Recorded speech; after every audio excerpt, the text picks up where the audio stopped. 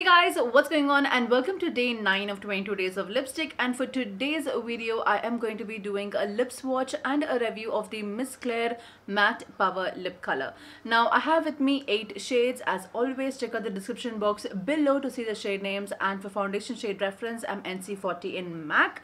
Now if you have not already then do not forget to hit the subscribe button and the bell icon right next to it to notify whenever I upload and now let's jump right in the video.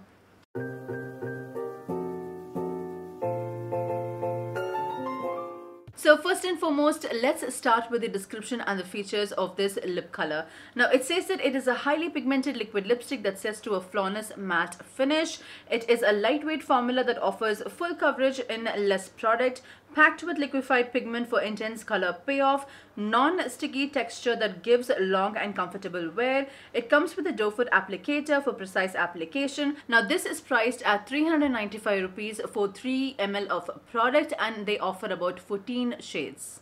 Now this is how the packaging looks like which is almost in a clear tube and you have the shade number at the bottom and this is how the doe foot applicator looks like.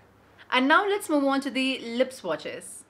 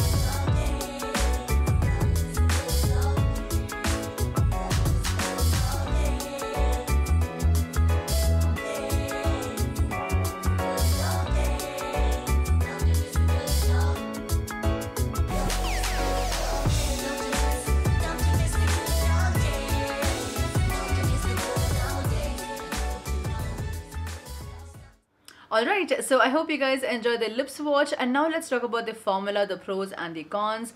The first pro is that these are extremely comfortable and very lightweight on the lips once it's applied and it is very quick drying as well. Like it literally takes like 10 seconds for it to dry down and it dries down to a nice matte finish. Now these are extremely pigmented as well. So even the darker shades are super pigmented and just one layer or one stroke you get the full pigmentation. These are transfer proof like for example, clean hands. Almost nothing and these are non-sticky as well which is a huge pro in my opinion. Now the texture of this liquid lipstick is like a very thin moussey kind of a texture and it reminds me of the NYX lip lingerie as well like kind of. The texture alone not the rest of the properties but just the texture of the liquid lipstick if that makes sense. Now for the longevity of these liquid lipstick, they do last for like a maximum of five, five and a half hours or probably like six hours max. But then this is a kind of formula like if you have a heavy meal, it will completely fade off if it is a nude shade. But then if it's a darker shade, this is how it will look like. And as you guys can see, if you do press your lips together, you are good to go because it will be like a watered down version of the original shade if that makes sense. And last but not the least is the price point, which is not that bad. It's less than 400 rupees and such a great formula. So that's the last pro. Okay, so I wanted to mention like a quick FYI. Now, this is not a con in my personal opinion or for me, it's not a con, but I just want to put it out there is the pricing for the quantity. Now, when I looked at the other lipsticks that are there out in the market for a similar price point, the quantity of those were much more higher than these. For example, the Maybelline Sensational Liquid Lipstick, I'll put the picture right here. They are priced at 349 rupees for 7 ml of product, wherein the Miss Claire one is priced at 395 rupees for 3 ml of product. So, you see? Another example is the Lakme Forever Matte Liquid Lipstick, which looks like this. Uh, this has a quantity of 5.6 ml and it's priced at 295 rupees. So, of course, the formula everything is completely different in all three of them. Uh, but yeah, I'm just, that's why I said, like, I'm just putting like an FYI. I'm just like putting it out there for you guys. But having said that, I still find these liquid lipstick to be extremely good quality when it comes to the formula. For me, the comfort of a liquid lipstick is much more higher than the pricing for me personally. So for me, 395 is not such a bad deal at all for the formula that you get for the comfort that you get so yeah i do love these liquid lipstick i do recommend them and uh, these actually do not have any cons which is very surprising so yeah, these were my thoughts and opinion about the Miss Claire Matte Power Lip Color and this wraps up today's video you guys. I hope you all enjoyed it. If you did, do not forget to hit the subscribe button and the bell icon right next to it so that you're notified whenever I upload as well as like the video and comment down below if you have any questions or requests.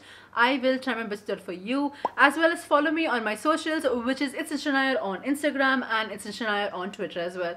So until the next time, take care. Bye.